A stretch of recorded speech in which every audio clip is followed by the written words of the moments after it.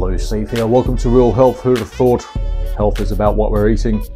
Join me on my quest to disseminate my go to health regimen, the Health 44, my clumsy branding of eliminating four classes of food, introducing four classes of micronutrients. Bingo, bongo, health sorted. So, thank you for your interest. Let's do this. You've clicked on The Whole World is Celiac where we don't need the approval, the diagnosis of, of a mainstream healthcare practitioner.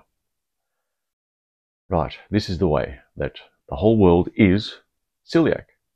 Well, to, to further clarify, I've only just realized that celiac has two different spellings, the US spelling and the and the British spelling. And the British spelling is what I used here, being a subject of a, a colonial a subject of the British Isles here in Australia. So, to further clarify why we are all celiac, but not, not all, we are, I'll give a figure of 98%. 98% of the world is celiac. And this is the reason why.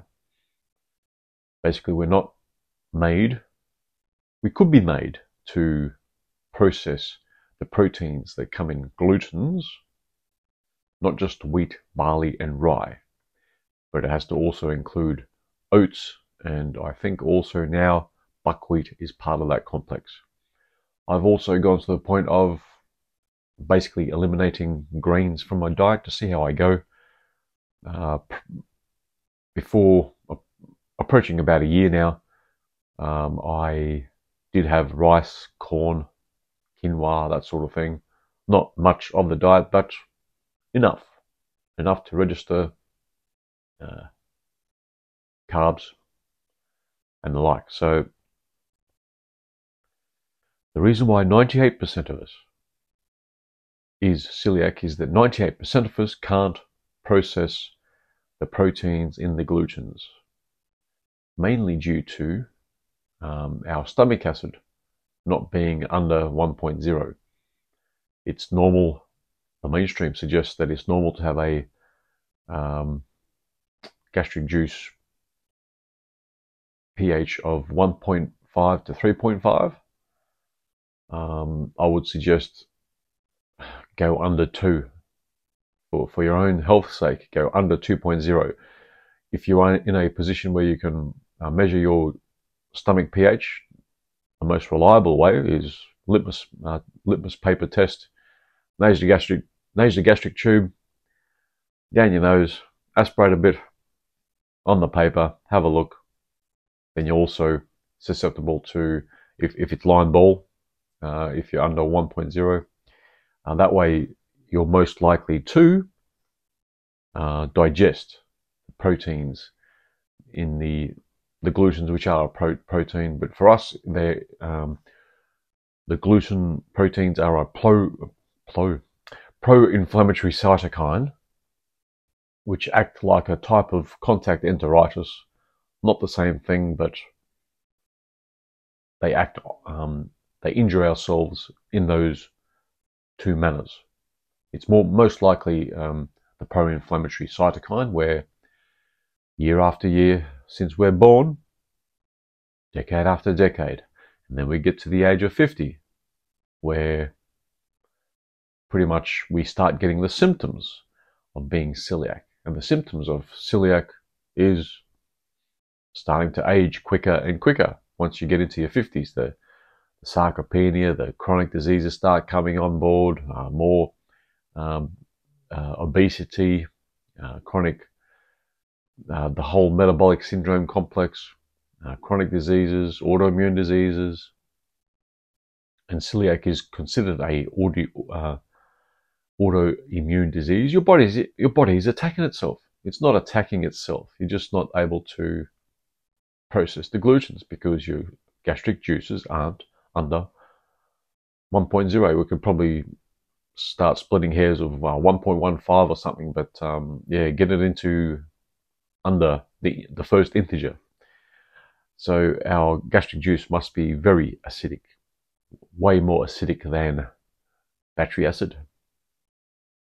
And because our gastric juices must be very, very acidic, the whole idea of gut health and gut uh, gut flora, um, good gut bugs and all uh, microbiome.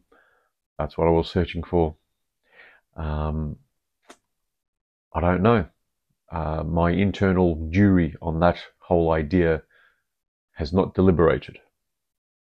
There's a few jurors that are flipping to the nothing should be alive in your gut. It should be all anything that enters your gut should be frazzled, should be um, annihilated to a pulp.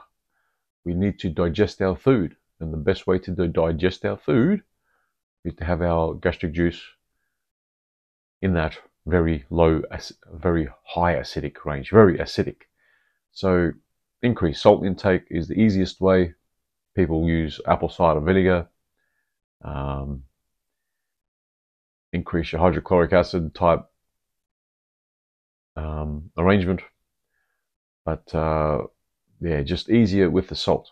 Even by deploying those different strategies, a lot of people won't be able to get to 1.0. So the most reliable way to not suffer the consequences of being uh, of having that contact enteritis, that uh, pro-inflammatory cytokines that um, injure the small um, the small intestine, the villi in your small intestine that does most of our absorption,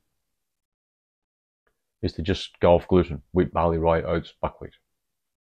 Nothing of that. And um, the recent keto and carnivore crowd suggest no grains at all. I'm giving it a go. I haven't missed my rice and maybe 10 percent corn in that. Uh, I was feeling okay before with those few grains that I, I was having, but um, I haven't missed it, and I'm doing okay. I'm doing very well, in fact. So that is why the whole world is celiac. We can't process it. Very few can. Perhaps that 2% can. Even worse, is if you drink during your meals. Um, I've got this whole protocol of uh, no drinking 30 minutes prior to your meal, 90 minutes post, after your meal, and uh, if your mouth is dry, you need a bit of a an ounce is fine. Um, having uh, a few ounces 10 minutes before your meal is a bit of a pass. Um, announced during a meal to help help it all go down. Usually, people suggest, uh, uh, relate digestion as getting your food to go down. Mm. No, no, it's not making it easier for your food to go down. Um, we need to digest it, and uh, it's best. It's best just for that clean slate type idea, just to not think about it. Be hydrated half an hour before your meal, and then drink up 90 minutes after your meal, okay? Uh, no soda, bubbly drinks, not even the sparkling water for those lion diet people. No, no spark, sparkling water, and don't, uh, yeah, don't drink during your meals. Be hydrated. Think about it before your meals. Salt intake, yes, you can try with the uh, apple cider vinegar and um, HCl. Um, that's the easiest way, just to avoid your glutens for the people that aren't celiac. And I'm doing a double header uh, this evening. Uh, what celiacs must do. So that is why we are all celiac disease without the approval of the mainstream to indicate that you are suffering from celiac disease. If you got grey hair, got any chronic diseases, wrinkles, um, varicose veins, hemorrhoids, um, indigestion, things like uh, carpal tunnel, um, shoulder, frozen shoulder, um, things like atrial fibrillation, uh, hiccup a lot, uh, bowel diarrhea slash constipation. Um, those sort of things. Uh, and you're gaining weight, treat yourself as celiac, do those things as a start, but on top of that, we need to supplement these days because our food supply chain is impaired. For 130 years at least, the whole world has gone uh, away from burning wood to electricity.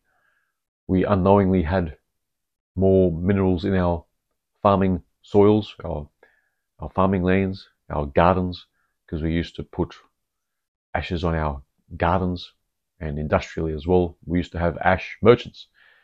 And that's how we unknowingly had minerals in the soil. Once that carrot or that lettuce gets picked, if it's not replaced, if the if the minerals aren't replaced, harvest after harvest, the minerals are being depleted from the soils. If there's no ashes being, being put down and also if there's no seasonal flooding, uh, minerals from the highlands, from um, crushed up rock and whatnot, uh, minerals unknowingly, not all the minerals we need, but uh, a lot of them we were getting from flood floodlands, um, flooding, seasonal flooding. So with the three million plus dams that we have around the world, um, a million of those are hydroelectric dams. The other two million are irrigation type dams. We've effectively mitigated all seasonal flooding, even re reducing our uh, our minerals getting to the soils even more, even further mineral um, depletion, even further, because uh, if the minerals aren't in the soil, they don't end up in the food and they don't end up into us. And we need 60, we need 60 minerals, not the um, 13 minerals. The last one that was declared essential was iodine in 1950. Before you wait for the next one to be approved, just we need to supplement with those um, minerals. And together with the minerals, we need to uh, fully supplement, which is 90 declared essential micronutrients.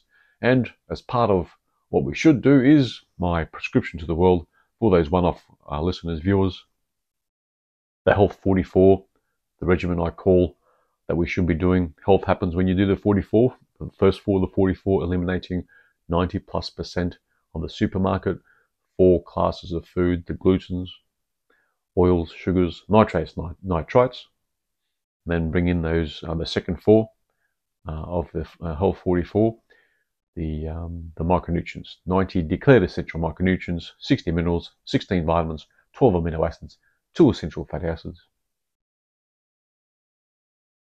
then we won't, the whole world won't be celiac we'll be well there won't be obesity metabolic syndrome chronic disease autoimmune and beyond I'm not that to mention the c condition so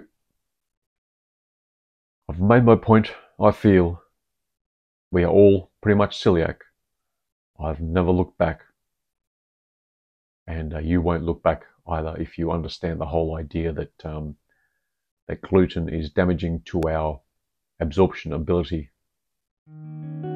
So there you go. Hopefully until the next time. Bye bye.